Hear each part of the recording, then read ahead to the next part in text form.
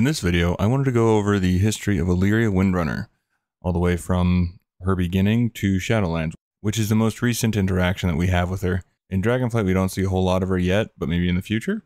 With that said, let's get into it. Alleria emerged into the world as the firstborn child of Larissa Windrunner, the esteemed Ranger General of Silvermoon, and Verath Windrunner, who held the significant role of chief advisor to Anasterian Sunstrider. Her name paid homage to her maternal grandmother's legacy. Alongside her sisters Sylvanas and Vereesa, she also shared her life with a younger brother named Lirath. Destined to continue the Windrunner lineage, she was groomed to inherit her mother's position as Ranger General. Yet she harbored a spirited disdain for the traditional confines and expectations of the High Elves. The path set by her mother was met with unwavering resistance by Alleria. Restless within the stasis of Quel'Thalas, she yearned for exploration, longing to engage with diverse races, embrace various cultures, and rekindle ties with the humans who once aided them during the Troll Wars. Larissa remained staunchly dedicated to the Elven isolationism, believing Quel'Thalas held the utmost importance and dismissing any lingering obligation to the humans. A pivotal moment arrived as she embarked on the demanding hunt to prove herself as Larissa's heir. Tasked with tracking down the formidable spring pawn named Mauler, she ventured into the wilds of Eversong Forest. Tragedy struck as she confronted the beast, becoming the hunted herself. In an act of valor, her sister Sylvanas intervened, depriving her of the chance to claim her own victory. The discord between her and her mother escalated over time, exacting a toll on the Farstriders, which is the elite order of Blood Elf Rangers led by Larissa. She sought solace with her companions, deepening the divide between those who shared her beliefs and Larissa's loyal adherents. A climactic confrontation led her to relinquish her claim to the Ranger General title and propose Sylvanas as her successor. With Lor'themar and Halduron's support, Sylvanas assumed the mantle, a choice begrudgingly accepted by Larissa. The eldest Windrunner was granted the task of venturing beyond the kingdom's borders to establish a presence. Before her departure, she mended her bond with her mother and cherished a final serene evening with her family. Larissa gifted her a necklace adorned with an emerald, a ruby, and a sapphire, a cherished keepsake. Departing Quel'Thalas, she embarked on her journey alongside her loyal ranger companions, Varana, Relian, Aruk, and Tathrasar. Their quest was to explore the world beyond their homeland's borders. During her absence, tragedy struck the Windrunner family as Larissa and Verath fell victim to the Orcish horde during a diplomatic mission. The Farstriders grappled with the choice of Sylvanas or her as their leader, reflecting divided loyalties, uniting their cause and silencing dissent. United once more, the Windrunner sisters confronted the looming threat of the Horde and Quel'Thalas's uncertain stance. While Sylvanas grappled with the intricacies of elven politics, she was unburdened by such constraints. She would march to the danger rising in Lordaeron, with or without the full support of her homeland. As the Horde's ominous presence cast its shadow over Lordaeron, the resolute Terenas Menethil invoked the age-old debt the Sunstriders owed the Arathi lineage, rallying support in the name of Anduin Lothar. Quel'Thalas's ruling council, perceiving the Horde more as a pretext to honor that debt rather than a genuine peril, dispatched a modest contingent of elven forces to bolster the alliance of Lordaeron. Amidst this deliberation, she stood as one of the rare voices in Quel'Thalas, understanding the real threat that the Horde posed to her people. Driven by this conviction, she defiantly led her rangers to Southshore, aligning herself with the alliance of Lordaeron, despite the absence of official orders. Side by side with Turalyon and Khadgar, she fervently engaged in the campaign to expel the encroaching orcs from Lordaeron's soil. News of the Horde's wanton destruction along Quel'Thalas's borders ignited a resolute fire within her. Guiding the Alliance's forces, she rallied to the defense of Silvermoon City, experiencing an emotional reunion with her sister Sylvanas, as well as companions Lor'themar Theron and Halduron Brightwing. Though Sylvanas now held the mantle of Ranger General in her stead, Sylvanas entrusted her with Larissa's bow, Thas'dorah, recognizing her elder sister's capacity to seek retribution on the front lines. In the company of Lor'themar, she stood beside Turalyon during the relentless siege of Capital City. A turning point arrived as the Horde, their resolve waning, retreated to the south. With the threat momentarily quelled, she and Lor'themar embarked on their return to Quel'Thalas. Triumph over the Horde was attained, but the victory was marred by a grievous toll.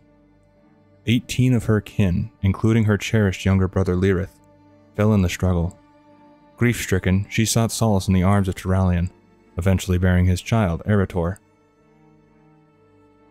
Section 3 Beyond the Dark Portal.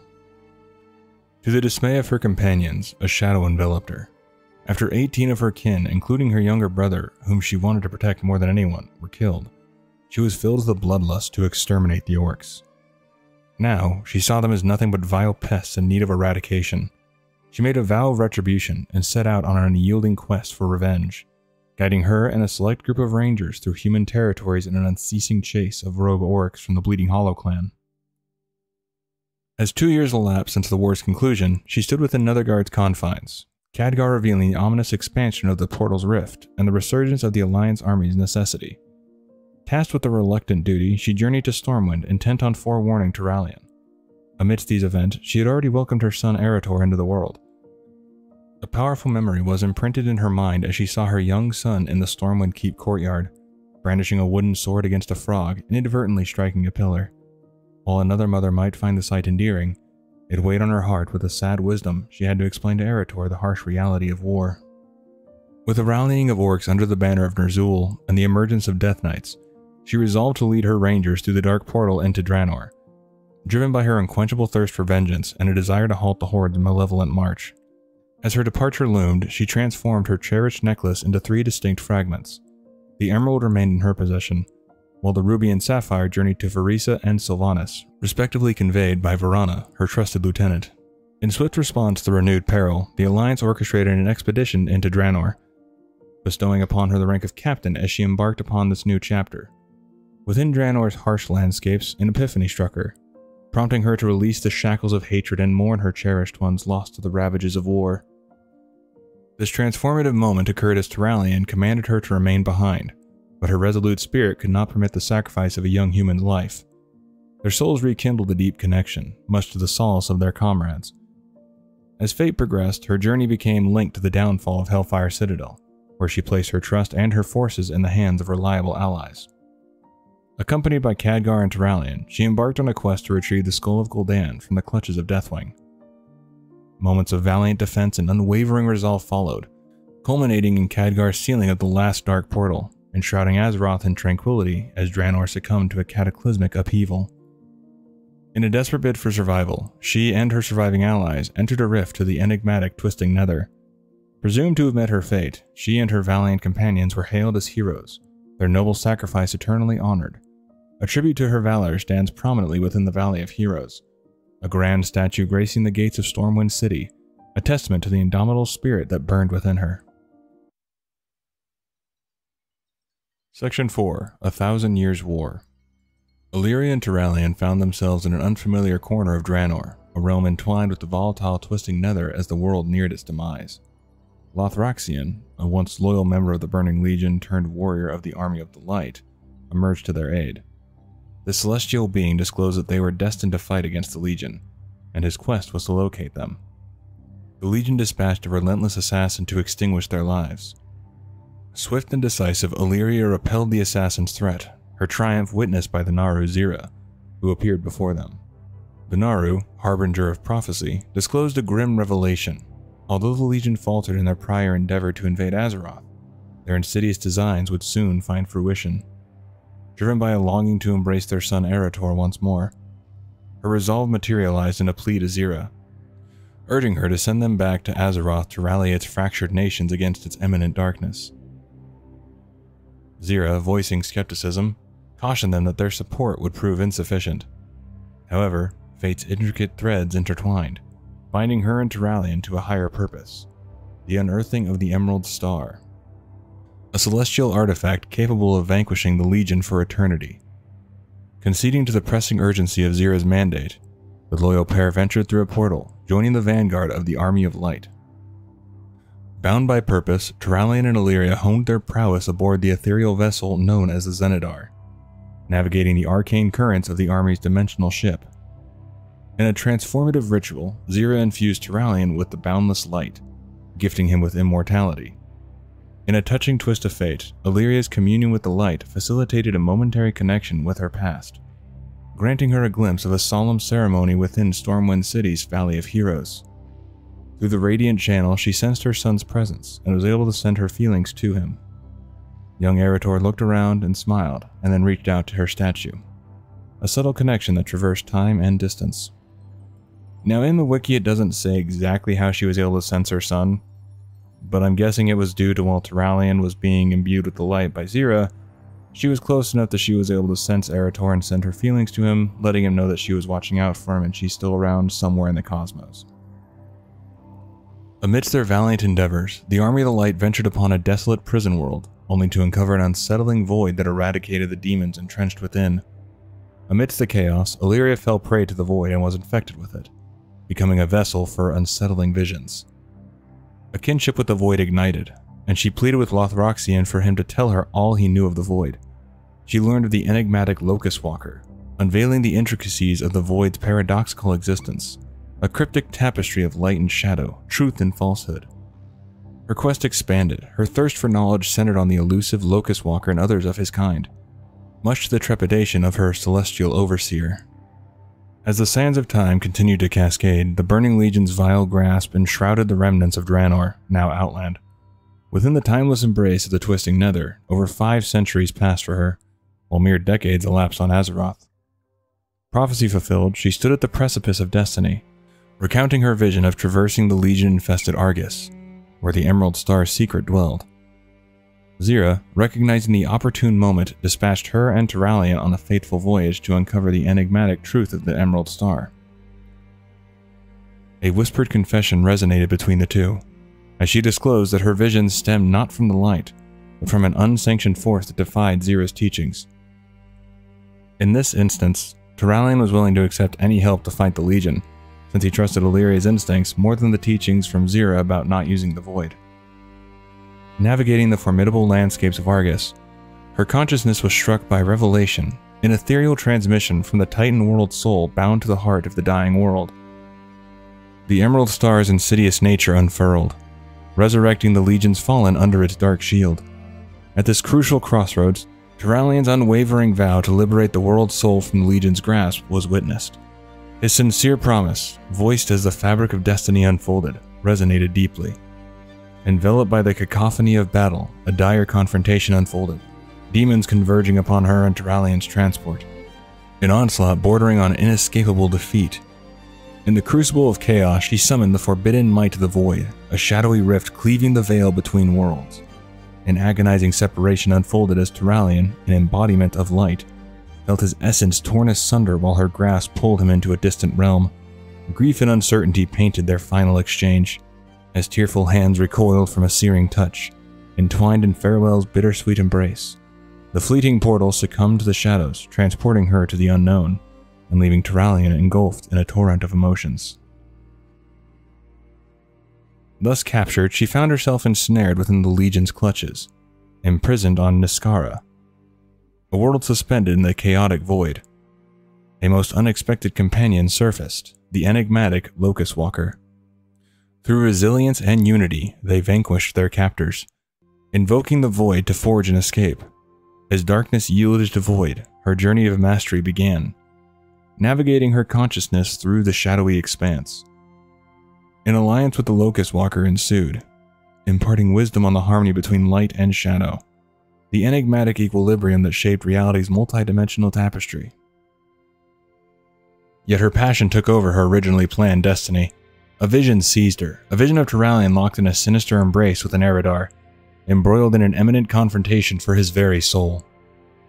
Bolstered by her newfound connection, her yearning to intervene clashed with the Locus-Walker's teachings. A tumultuous clash took place, culminating in her decisive strike, prematurely ending her training.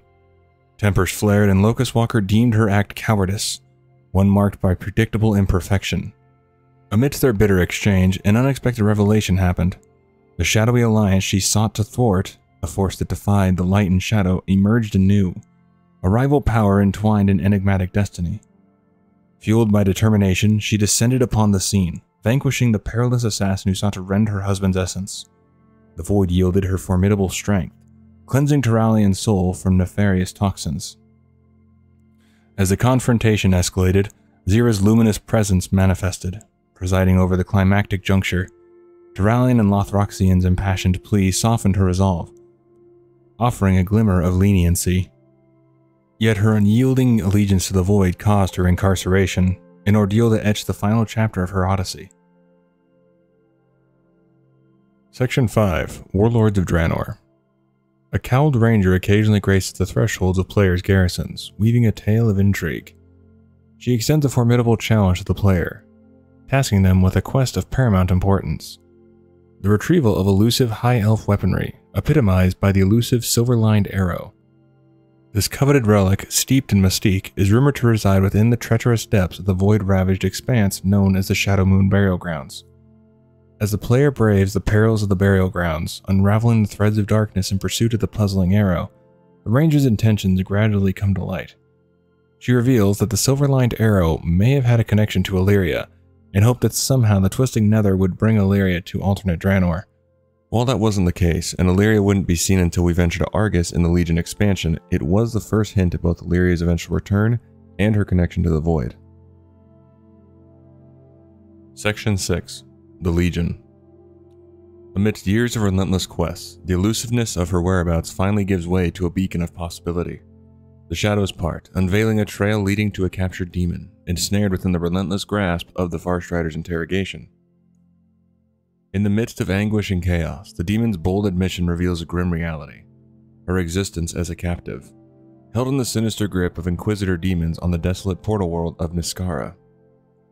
With unwavering determination, Vereesa Windrunner forges an unbreakable alliance with the Farstriders, uniting their strengths to track down the matriarch of the Windrunner legacy. A determined journey begins to take shape, composed of brave hearts working to free Alleria from the Legion's grasp before it is too late. The stakes are high, for the Legion's greedy eyes have turned to Alleria's legendary bow, Thas'dorah, a weapon of fabled might that threatens to amplify the Legion's dominance.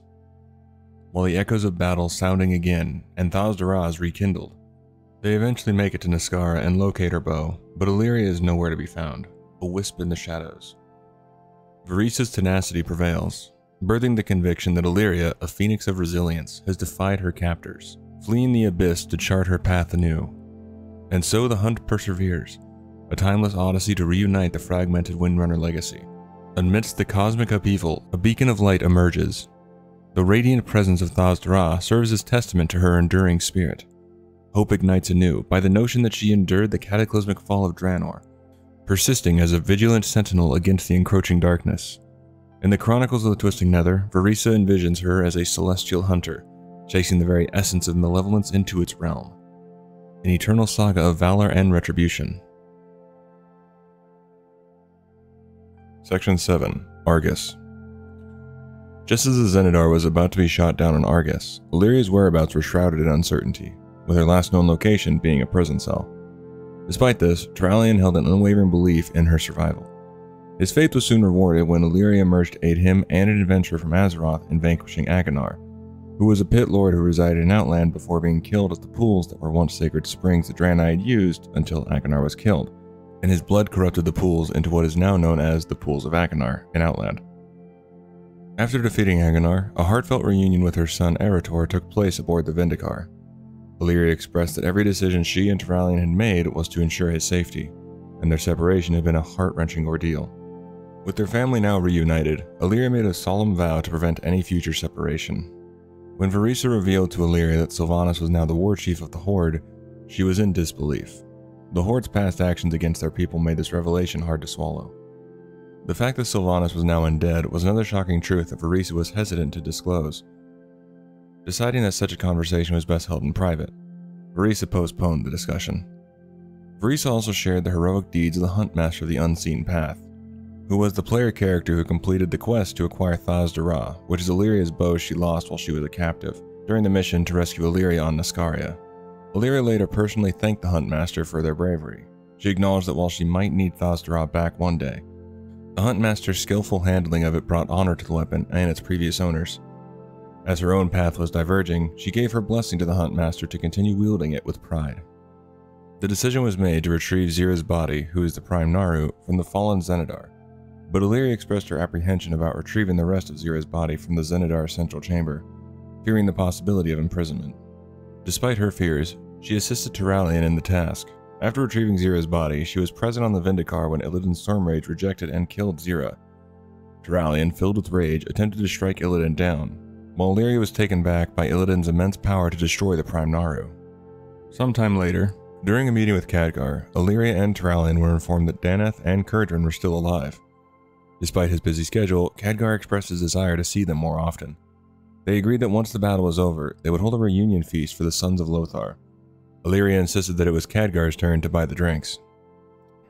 Upon discovering that the Crest of Knowledge, a piece of the crown of the Triumvirate, was inside the seat of the Triumvirate on Eredath. Now, real quick, a quick mention of what those things are. The Crest of Knowledge is an item containing vast knowledge cultivated by the ancient Eredar.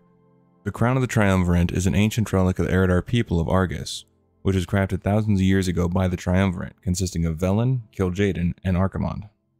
Finally, the seat of the Triumvirate is where the Triumvirate ruled over Argus. Alleria shared her findings about the area. She revealed that the darkened Naaru, L'ura, had become a beacon, attracting the Shadow Guard ethereals to use her void energies for their own purposes. Alleria and an adventurer journeyed to the ruins of Eredath, where they encountered Krogal being forcefully infused with the void by the ethereals. They also met Alleria's mentor, Locus-Walker, who was investigating the Shadow Guard's activities on Argus. Locus-Walker questioned Alleria about her use of shadow magic, especially given Turalyon's affinity for the light. Alleria retorted that without the light, there is no shadow. Upon vanquishing the ethereals of the Shadow Guard incursion, Locus-Walker deemed Alleria worthy of another chance to chase her destiny. In a fierce battle with the Void Revenant, Nalathoth, Alleria emerged victorious, and Locus-Walker retrieved the creature's heart, presenting it to Alleria who consumed it. Locus-Walker imparted wisdom to Alleria, assuring her that as long as she remained control over her mind, she could harness the power of the Void. He hinted at the possibility of revealing his own mastery over the void someday before departing. Their paths crossed again within the enigmatic seat of the Triumvirate. Amidst the clash with L'ura, Locust Walker urged Alleria to tap into the power of the void rifts that the darkened Naaru was opening. This led to a pivotal moment where Alleria absorbed L'ura's essence, undergoing a transformation into a void state. Recognizing the need to explore the boundaries of her newfound power, Alleria and Locus-Walker exited the seat. Later, aboard the Vindicaar, Alleria affirmed her control over her new form, demonstrating her ability to switch it on and off at will. Following the imprisonment of Sargeras by the Pantheon at the seat of the Pantheon, Alleria's heart yearned for her return to Azeroth, to be reunited with her family and to once again witness the verdant forests of her homeland. Yet a sense of dread clouded her anticipation of meeting Sylvanas. She was compelled to see for herself the transformation of her sister. She questioned whether Sylvanas was still the sister she knew, or had become a creature forsaken by the light. Alleria acknowledged her own transformation, aware that her command over new powers might raise doubts about her loyalties. With much to contemplate, she resolved to remain composed and focused. Section 8 Three Sisters Strolling hand in hand through the storied Valley of Heroes within Stormwind, Alleria and her beloved Turalyon embarked on a journey both physical and emotional. Amidst the tranquil hush of the surroundings, Alleria shared revelation that held profound significance. A family reunion, a gathering of windrunners, beckoned on the horizon, a moment suspended between hope and uncertainty. It was an endeavor fueled by a yearning to unravel the intricacies of their shared bond after the trials of time, and to reconnect with her long lost sisters. She made a firm decision within herself, a strong resolve to let go of past trouble and find out if family bonds could withstand the stormy waves of change. Alleria bore a precious relic, a token that transcended both time and space. An emerald Windrunner locket, a tangible symbol of unity forged in Stormwind and bestowed upon her sisters. As she stood at this crossroads, the weight of her own choices and the haunting echoes of the void murmured through her thoughts. The locket, an embodiment of shared heritage, whispered a tale of past, present, and the potential future that lay before them. With grace and purpose, Alleria conjured a portal of void energy, bidding Turalyon a heartfelt goodbye. She left with him a message for Arator. In the event that she didn't come back from this meeting with her sisters expressing her love, all the while resisting the sinister whispers in her mind that urged her to abandon her affection for Turalyon and end his life. The meeting of sisters began with Vereesa, or Little Moon, a cherished endearment that encapsulated the bond they shared. Golden tresses danced in the wind as Vereesa playfully dubbed Alleria Lady Sun, a poignant juxtaposition that mirrored their past and the uncharted territories that lay ahead. The camaraderie, once forged in shared laughter and dreams, painted vivid strokes of reminiscence across their conversation. A dance of words wove tales of alliances and betrayals, of horde and alliance, of battles fought and love lost. After they talk, the two head to meet Sylvanas. They embarked on a journey to the eerie Ghostlands. Here, Sylvanas recounted the tale of Arthas Menethil, who led the Scourge to devastate the kingdom of Quel'Thalas. The Windrunner sisters were given skeletal horses by Sylvanas, aiding their mission to purge the undead they encountered en route to their ancestral home, Windrunner Spire. During their journey, they engaged in a game, One is a Lie, where each sister made three statements, one being false. Their path led them to Golden Mist Village, now inhabited by the spirits of those they once knew. As they defended themselves from these spectral attackers, Alleria accused Sylvanas of manipulating Vereesa into assassinating Garrosh Hellscream. This happened in the book War Crimes, where Garrosh was being put on trial for everything he had done, and Vereesa wanted revenge for the death of her husband Rhonin, who perished in the bombing of Theramore. So Vereesa asked Sylvanas for a poison to kill Garrosh, but at the last minute couldn't do it, and Vereesa told Anduin, who then saved Garrosh. Sylvanas defended her actions, revealing the plot was Vereesa's from the beginning. She blamed Vereesa's lack of resolve for the fallout of Garrosh's actions, including the third invasion of the Burning Legion, in a fit of rage, Sylvanas unleashed her banshee powers on the spirit, annihilating it. Alleria, horrified by Sylvanas' savagery, transformed into her void form, declaring that the sister she once knew was lost. During their argument, Vereesa attempted to defuse the situation as she did when they were kids, reminding them of their mission to cleanse their home of the undead and revealing the outcomes of their game. Alleria confessed her truths. She missed her sisters and had no regrets about her long absence from Azeroth. Her lie was that she viewed the void as a gift, when in fact she saw it as a relentless struggle she was determined to overcome. Sylvanas, when it was her turn, opted not to continue the game. Alleria told Sylvanas to keep her secrets. Alleria admitted she had come to see if she still had a family, as Lirath would have wanted her to try. However, it was clear to her that her family was irreparably broken. Alleria then created a void portal to send Vereesa home before returning to her son and Turalyon. Section 9 Void Elves In the midst of a looming war with the Horde, King Anduin Wrynn made a resounding declaration. The Alliance was in dire need of allies. Alleria, a stalwart figure among the Blood Elves of Silvermoon, took this call to heart. She was steadfast in her belief that given the chance, the majority of her kin would willingly sever ties with the Horde and rejoin the Alliance. With this conviction, Alleria embarked on a journey to her homeland. There, she met an old comrade from her Farstrider days, Lor'themar Theron. Time had transformed him into the regent lord of their homeland, a place that had changed almost beyond recognition. Coincidentally, her arrival was mirrored by that of first Arcanist Thalyssra of the Nightborn, who was also on a quest to forge an alliance with Silvermoon. Lor'themar introduced Alleria as a hero from Silvermoon's past. After exchanging cordial greetings with Thalyssra and Liadrin, Alleria presented her proposal to the regent. Lor'themar's response was curt, his words tinged with disappointment. He had hoped that Alleria's visit was motivated by love for Silvermoon, not a task for the Boy King, as he put it. The conversation took a bitter turn, with Alleria suggesting that Lor'themar was merely parroting Sylvanas' words, and Lor'themar raising concerns about Alleria's ties to the Void and its inherent dangers. Realizing that her offer had been anticipated and spurned, Alleria readied herself to leave. But before she did, she expressed a desire to see the Sunwell once more. It had been a thousand years from her perspective since she last laid eyes on it. Rommath was against the idea, but Lor'themar overruled him. He declared that no matter what Alleria had become, she was a daughter of Quel'Thalas.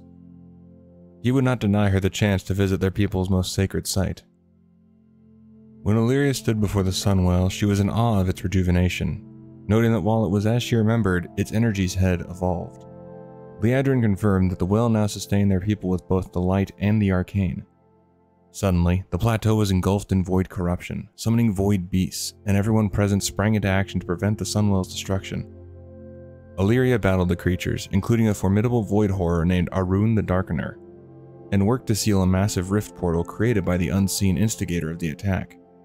Joining forces with Rommath and Thalyssra, Alleria managed to close the rift. However, Rommath blaming her for the attack, angrily demanded her arrest as a saboteur. Lor'themar stepped in, choosing to banish her instead, as her mere presence threatened Quel'Thalas. But before she left, Alleria learned a crucial fact from Rommath. There were Blood Elves practicing the Void who, like her, had been exiled due to the danger the Void posed to the Sunwell. Alleria learned a crucial fact from Rommath. There were Blood Elves practicing the Void who, like her, had been exiled due to the danger the Void posed to the Sunwell. Upon her return to Stormwind, Alleria shared the results of her diplomatic efforts with Anduin and disclosed her newfound knowledge about the exiles.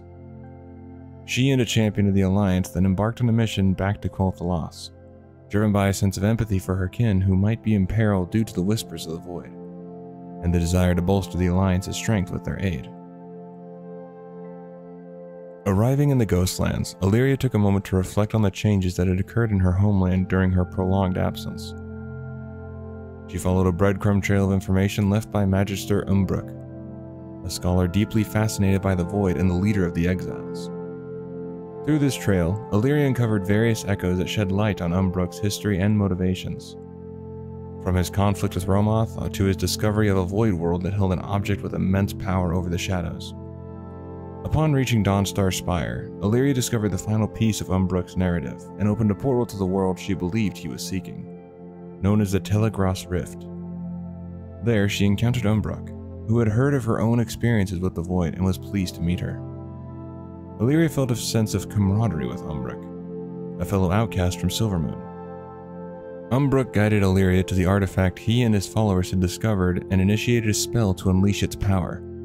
However, their ritual was abruptly disrupted by Nether Prince Durzan. The Void infected Ethereal who had previously assaulted Alleria at the Sunwell. Durzan, with a sinister intent to corrupt the Blood Elves with the Void, initiated a ritual to strip them of their mortality and lure them into submission. Alleria, filled with fury and a desire to safeguard her kin, engaged in a fierce battle against Durzan, urging her people to resist the whispers of the Void. She also rebuffed Durzan's attempts to persuade her to surrender to the Abyss. Together with the champion, Alleria defeated Durzan and liberated her people, who had been transformed by the Void. Umbric, now changed by the shadow, expressed his gratitude to Alleria for saving him from complete madness induced by the Void. Alleria proposed to instruct him and his fellow elves on how to control a Void, and in return, he and their people, now known as the Void Elves, would pledge their allegiance to the Alliance. Umbric accepted Alleria's proposition, stating that Silvermoon had abandoned him long ago, and pledged his loyalty to Alleria, who assumed the role of their new leader. Umbric also became their primary representative to the Alliance. With a sense of victory, Alleria returned to announce her success and the addition to the Void Elves to the Alliance's forces. Telogrus Rift was established as the Elves' headquarters, and Alleria's mentor, Locus-Walker, journeyed there to assist her in educating and training the Void Elves. Section 10 Battle for Azeroth during the pivotal battle for Lordaeron, the Gnome and Void Elf forces under the leadership of Gelbin Mekkatorque and Alleria respectively, made a timely entrance through void portals, turning the tide of the battle against a formidable undead army. Alleria had a personal face-off with Thanos Blightcaller, and when she and Anduin cornered Sylvanas, Alleria expressed regret for not having eliminated her sister when she had the chance. In a bid to safeguard Azeroth and finally vanquish Sylvanas, Horde rebels under the leadership of Varok Saurfang in alliance with the Alliance, prepared to launch an attack on Orgrimmar, establishing their base in Razor Hill. However, before the combined forces of the Horde and Alliance could initiate their assault on Sylvanas' troops, they were joined by Alleria and Vereesa. Alleria, sensing the liberation of N'Zoth, proposed that Sylvanas' army, potentially the only force capable of defeating the Old God, should be allowed to fight, suggesting that the Alliance and Horde rebels should stand down. Anduin, however, was quick to counter that Sylvanas would not fight for their cause, reminding Alleria that Sylvanas had led both fleets into Queen Najara's trap at a time when the war seemed to be nearing its end. Asserting that they could not wage two wars simultaneously, Anduin insisted that Sylvanas must be defeated here and now, before all hope was lost. Convinced by Anduin's reasoning, Alleria pledged that she and Vereesa would scout Sylvanas' lines for vulnerabilities, while Alleria was ready to confront Sylvanas' troops, Varok Saurfang, viewing Sylvanas' followers as his Horde kin and reluctant to shed more Horde blood, challenged Sylvanas to a Mak'gora duel, meaning Duel of Honor, which traditionally is a duel to the death, but under Warchief Thrall's rule it became a non-lethal combat. However, participants can choose to forego this. During the face-off, Saurfang managed to make Sylvanas confess that she saw the Horde as nothing, leading her to quickly kill him and desert the Horde. With Sylvanas' departure, the Horde reunited, with her previous loyalists switching sides to Saurfang's revolution. With Saurfang's demise and Sylvanas no longer leading the Horde, the Alliance forces, including Alleria, withdrew from Durotar. Section 11 Shadows Rising King Anduin tasked Alleria and Turalyon with the mission of tracking down Sylvanas, although he was initially disappointed by Alleria's lack of progress. Alleria experienced a chilling vision in which Sylvanas overpowered her using her death powers, nearly choking her to death. Alleria once again lamented her missed opportunity to kill Sylvanas at Windrunner Spire, and then witnessed the death of Turalyon and Arator, before abruptly waking from her nightmare. She later confided in Turalyon about her visions of a thousand futures, each more horrifying than the last, and made a solemn vow to rise above her darkest self in order to thwart her younger sister's plans. During their search, Danath Trollbane brought to their attention that a Dark Ranger had been spotted among a group of Horde refugees in the Arathi Highlands. After securing the refugees, they were ambushed by Zun, a young orc. Turalyon managed to subdue him with a touch of humor, and both agreed to spare him when Gauzes pleaded for her son's life. Alleria, recalling memories of her time with Arator playing in the courtyard of Stormwind Keep, advised Zun, contrary to what he had been taught, war was not about glory, but about witnessing people at their worst and choosing to protect them regardless. While surveying the refugees, Alleria and Turalyon found that their quarry was not among them. However, Alleria's void powers allowed her to sense that Gauzes held the information they needed. Turalyon initially attempted a gentle interrogation of the orc, but after an hour of fruitless questioning, they reluctantly concluded that they needed the information at any cost. Alleria confessed her discomfort at the thought of torturing civilians, but she saw no other viable option, given the urgency of preventing Sylvanas and her followers from causing further harm after the horrors of the Fourth War. When Gauzes defiantly resisted their questioning, Alleria used her void powers to probe her memories and thoughts. This provoked Apothecary Cutley to demand that she stop. He revealed that Vizrin had sworn them to silence and had inadvertently mentioned her plan to head to Faldir's Cove to secure a boat. Upon hearing this, Alleria halted her assault and instructed Captain Celicel Nightgiver to provide the refugees with food, blankets, and any other necessities. She also ordered Nightgiver to send Cottley to Stormwind, suspecting that he might know more. Despite the urgency of their mission, Alleria couldn't help but feel a deep sense of regret for the measures she had been forced to take. Armed with fresh intelligence, Alleria and Turalyon set their course for Faldir's Cove. There, they encountered a man wielding a dagger that seemed more at home in a Forsaken's grip. When the man proved uncooperative, Turalyon restrained him with the light's power, while Alleria probed his mind. In the midst of their intense interrogation, Jaina Proudmoore made her appearance, having been dispatched by Anduin to get an update from the duo. Jaina was taken back by their harsh methods, and when Turalyon defended their actions by revealing the man's connection to a Sylvanas agent, Jaina demanded proof. Turalyon presented the Forsaken Dagger, and Alleria shared her findings from the mental probe. The Dark Ranger was en route to Zandalar. Jaina departed to relay this information to Anduin, a move Alleria perceived as snitching. However, Anduin dismissed Jaina's concerns, arguing that the Horde's heinous acts, like the burning of Teldrassil, warranted their extreme measures. He reminded Jaina of her own recent aggressive stance, and expressed his continued faith in Alleria and Turalyon's moral compass. Later, Jaina hosted Turalyon and Alleria in Boralus at Anduin's behest, in case Matthias Shaw found nothing on the Zandalari coast. Their meeting was interrupted by Flynn Fairwind, who brought news of Shaw's capture by the Zandalari Empire. Alleria was quick to suspect a Sylvanas Zandalari alliance, sparking another heated exchange with Jaina, who cautioned her against fanning the flames of conflict and jeopardizing the treaty. Jaina declared her intention to leverage the treaty before resorting to force against the Horde. Section 12 Shadowlands In the wake of King Anduin's disappearance at the hands of the Mawsworn and Turalyon's subsequent elevation to the role of regent and guardian of the kingdom, Alleria made the strategic decision to relocate to the War Room within the imposing walls of Stormwind Keep. Her aim was to bolster the strength of the Alliance, which had been severely tested by recent events. Later, Alleria was among the distinguished Alliance leaders who convened with the Horde counterparts in the formidable Bolvar Fordragon at the Frozen Throne, a chillingly iconic location within the icy confines of Icecrown Citadel. During the tumultuous events that unfold in the Shadowlands, Sylvanas experienced a profound reunion with a fragment of her soul that had been lost for an agonizingly long time. Following the ultimate defeat of the Jailer, Alleria and Vereesa embarked on a journey to Oribos to bear witness to Sylvanas' trial. In a twist of fate, Sylvanas found herself at the mercy of her sworn enemy, Tyrande Whisperwind. The three sisters, bound by blood and shared history, had only a fleeting moment to say their goodbyes before Tyrande pronounced Sylvanas' fate. A daunting task to cleanse the Maw and liberate all the souls ensnared within its dark depths. Sylvanas accepted her fate with a stoic resolve, sharing a final poignant glance with Alleria and Vereesa before plunging into the Maw.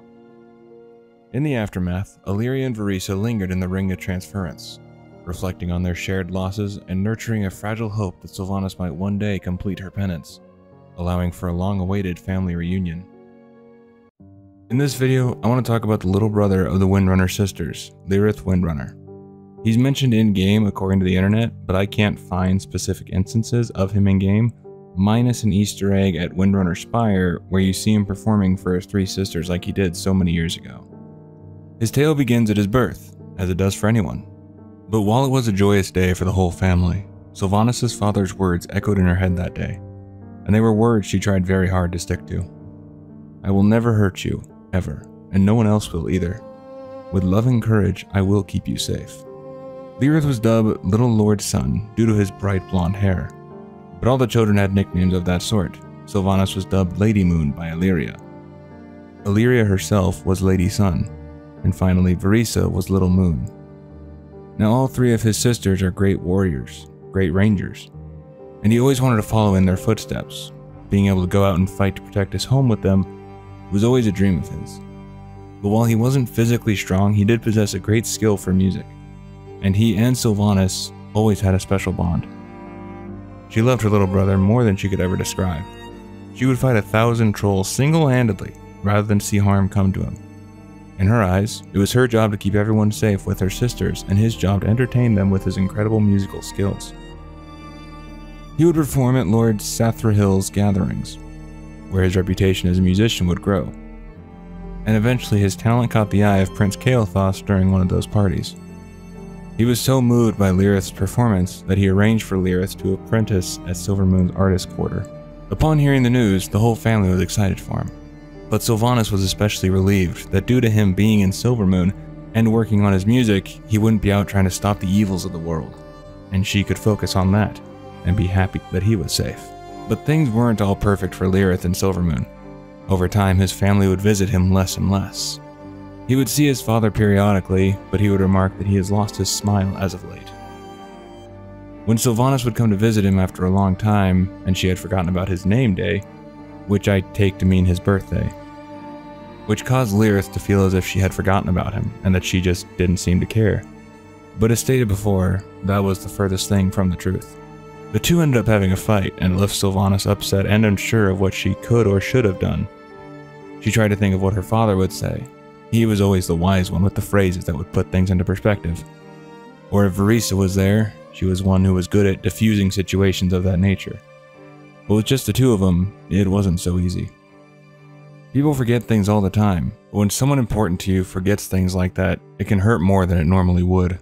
Over time, they would forgive, and the family shared a special moment at their favorite spot they would visit next to a lake. Alleria was out doing her ranger duties, and their parents had just left to go out on business. They joked that I missed them already, just as they saw them hop on their dragon hawks and ride off. Vereesa had Lirath's arm around her, and Lirath invited Sylvanas into the other arm. And Sylvanas just thought, I could never forget you, little lord son. Sadly, after this happy day, grief was right around the corner. They learned their parents had been killed in an ambush, they couldn't believe it, as their mother, being the Ranger General, would never fall for an ambush. She was better than that. But in the end, they had to get along with grieving. But it would be easier for some than others. Lirath was the worst at hiding his emotions, and when he learned of his parents' deaths, he was spurred to want to fight more. To Lirath, everything felt empty and frivolous now. The world before was a world of softness, of privilege, of wine, song, laughter. But that world is gone now and is never coming back. It is replaced with the reality of war and death. Sylvanas agreed and disagreed with his thoughts. In the present, their world was shattered, and the world of softness and music was gone from this moment and many more in the future. But it wasn't gone, never to be seen again. She just wanted him to realize that and hoped her words would sway him to see it. But grief has a way of blinding the truth and can also hurt you in the long run if you make rash decisions. Sylvanas wanted more for him. Her sisters, though, had already known the world could be punishing and violent. The three stood between that darkness and the hard truth, and she wanted Lirath to not have to do what they had to do. She wanted him to be there for when the world would recover, when their people would rely on the songs and happiness he could bring with his talent. She never wanted him to taste the bitterness that the three of them already knew. Sylvanas tried to make him see reason. Do you know how hard it was on them that all their daughters followed Mother's path? A path of danger, of violence, where we could die at any minute? Don't you think they sighed with relief knowing that at least one of their children might be safe? Don't you think Alleria, Vereesa, and I do? It's hard enough having to bury mother and father to mourn them. Do you think I want to bury you? Mourn you? I don't. I won't. And that is why I refuse to teach you. She had valid points, and had Lirath not been grieving, he may have understood what she was saying and agreed. But that isn't what happened. He went to Vereesa and had asked her to train him. She agreed, feeling it was better to get training from her than someone else, or even try to train on his own. At the end of the day, she just wanted to help her little brother. An attack came to Sylvanas' home by the orcs. She arrived after it was said and done. The family home that had been protected and safe for years, but now was in ruin. With the bodies of their guards and friends all around her, she was desperate to find survivors. She was having no luck, but something stopped her in her tracks. She found a body with an axe in his back, and evidence that he had lived after that attack. It wasn't a quick kill. He was clad in leather armor, not the robes of what her brother would wear. But as she got closer, she saw the hue of his hair, gold as minted coin, and her legs went weak. She got closer and after turning him over, realized it was Lirath, little Lord's son. He had tried to help fight off the orcs, but was no match. Whether he had to fight because he had no choice, or he actively got into the battle due to having some training and wanting to help others, isn't clear. But the end result is that Sylvanas didn't know what to do. She hoped it was a dream. Hoped she would wake up from this, and it would just be something she could talk about it with him after. That wasn't the case. As she waited to wake up, the world stood still, and she cradled the one she swore to protect. The one person she would fight a thousand trolls single-handedly to keep safe.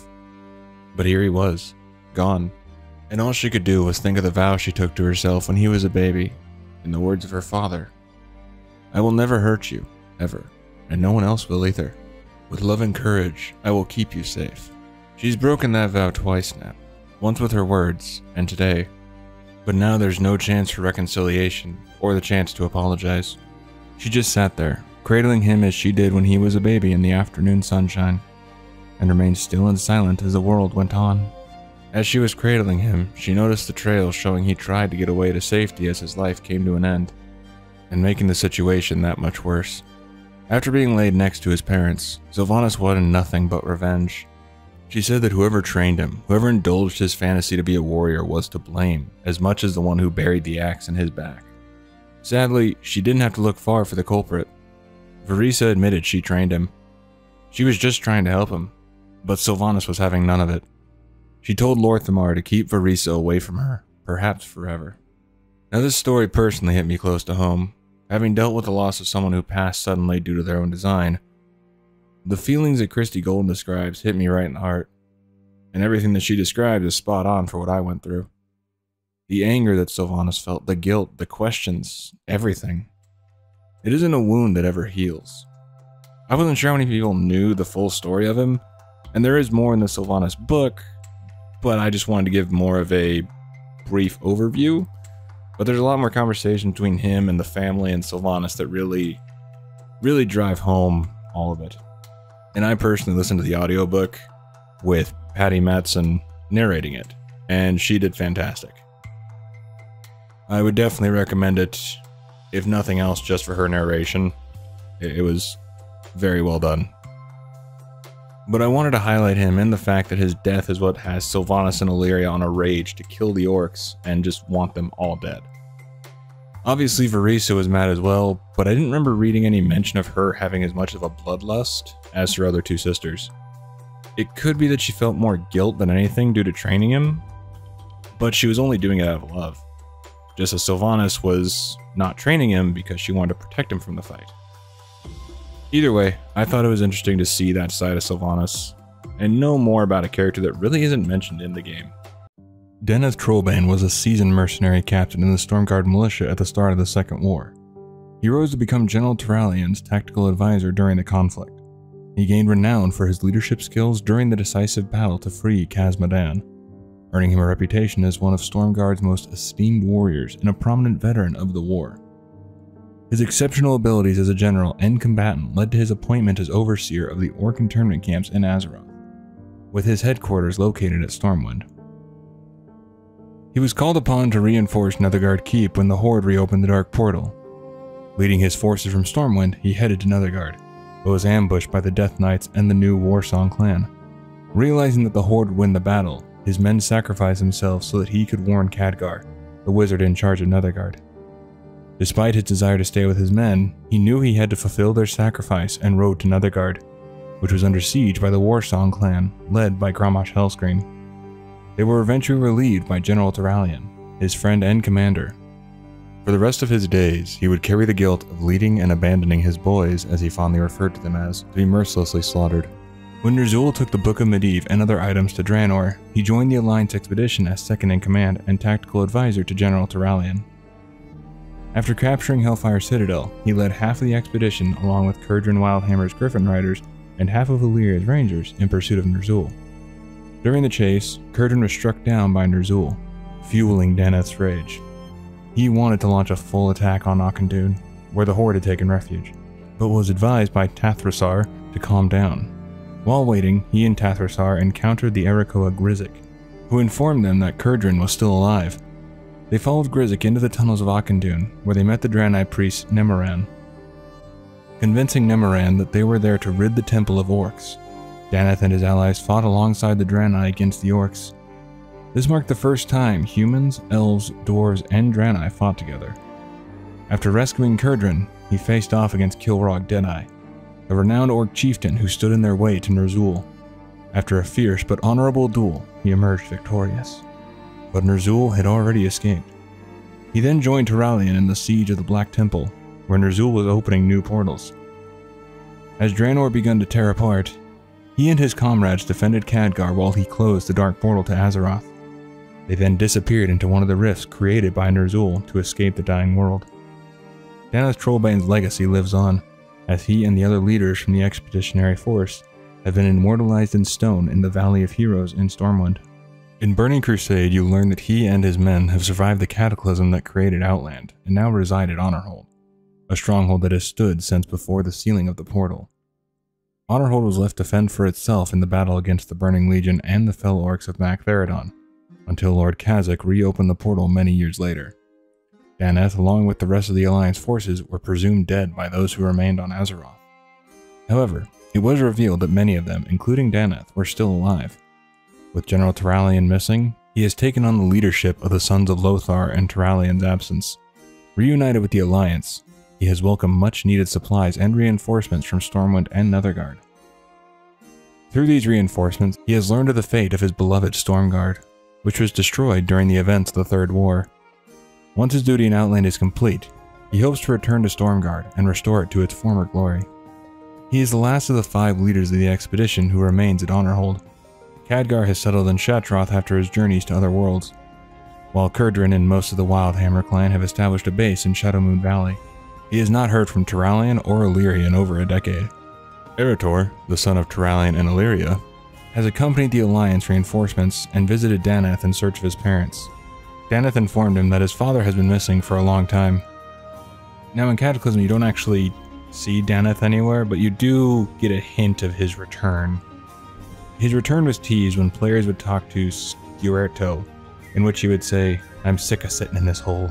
I hope whatever pencil pusher is holding up Danath's return gets a punch in the jimmies. But he doesn't return until Legion. Now in Legion, Danath made a triumphant return during the third invasion of the Burning Legion, taking on the role of a quest starter for the warrior artifacts. While on a reconnaissance flight above the broken shore with an Alliance warrior, he was unfortunately struck by Legion siege weapons and disappeared after his griffin fell towards the sea. However, he assured the player that he would find an alternative way back. Later on, Danath can be found at a hero's welcome, where he reflects on his close encounters with demons and vows that they will not get a third chance to take him down. If the player is a warrior, he expresses his relief at their survival and states that he never doubted them. He also mentions that he will soon return to the front lines. When it is revealed that Alleria and Turalyon are still alive, Khadgar reunites with them on Argus, the homeworld of the Burning Legion. During their reunion, Khadgar informs him that both Kurdran and Danath are still alive, although he admits that he doesn't get to see them as often as he would like. The three of them make plans for a reunion feast once the fighting is over, a celebration of the Sons of Lothar's resilience and victory. Each Hallow's End, a haunting voice reverberates across the heavens. Prepare yourselves. The bells have tolled. Shelter your weak, your young, and your old. Each of you shall pay the final sum. Cry for mercy! The reckoning has come!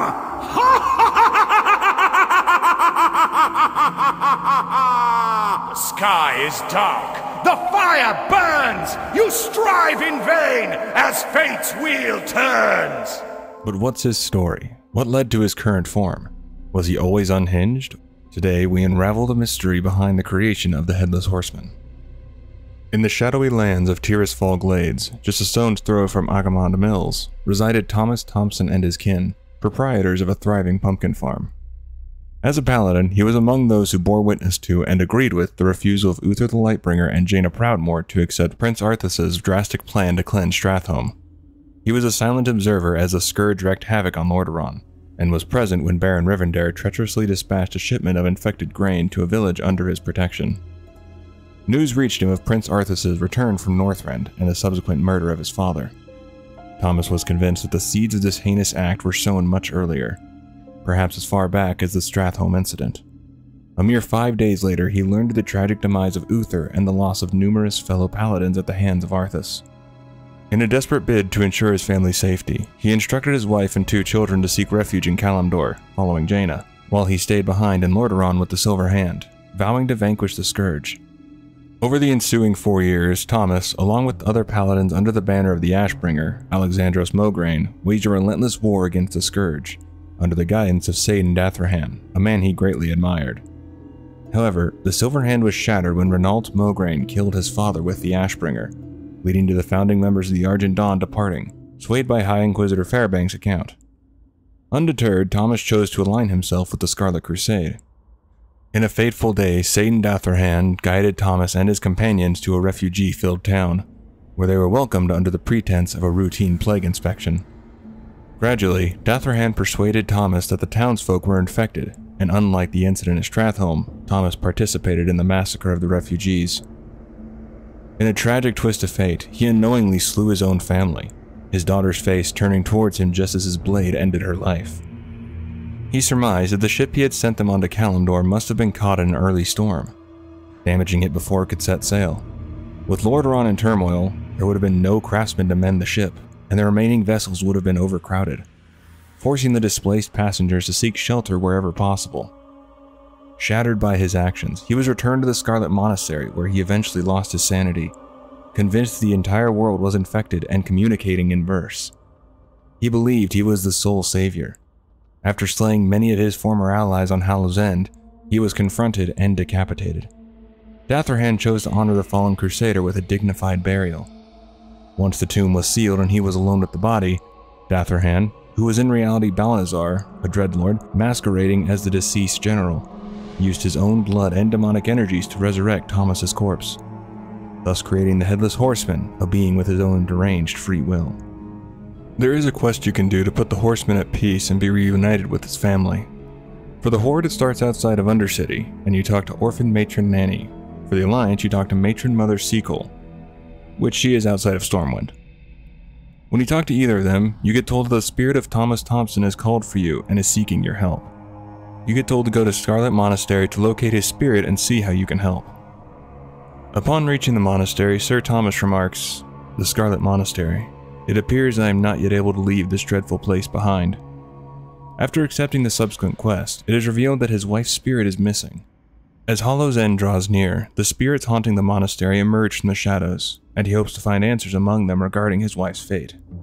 As you traverse the monastery, various shades are seen reliving their nightmares. Initially, you approach a crusader terrified of the infection spreading from the grain in the area.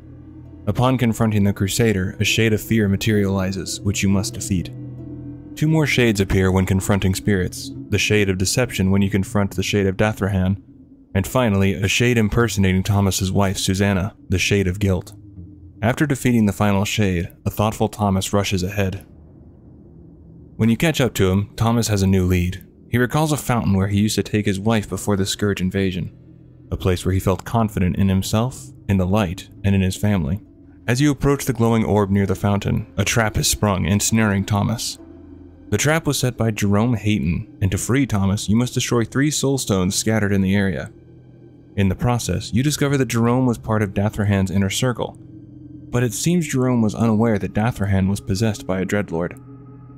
After you successfully free Thomas, it's too late.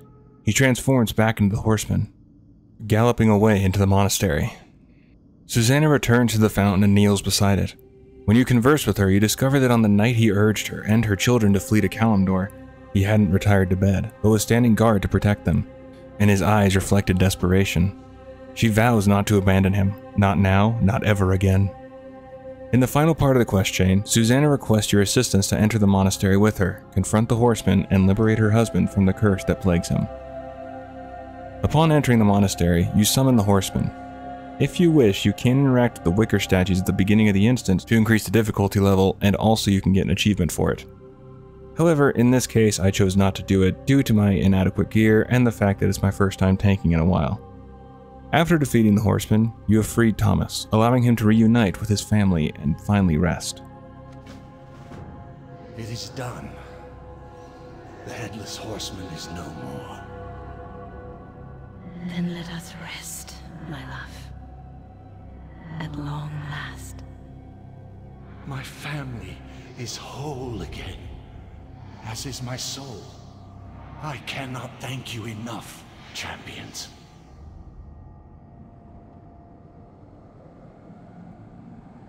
And that's the story of the Headless Horseman. Hopefully you did enjoy. I'll see you in the next one. Take care of yourself. And before we end off the video, I just wanted to say this real quick. If you're going through a hard time right now, put your head down and power forward. You're doing great. Keep it up. I'll see you in the next one, and do take care of yourself.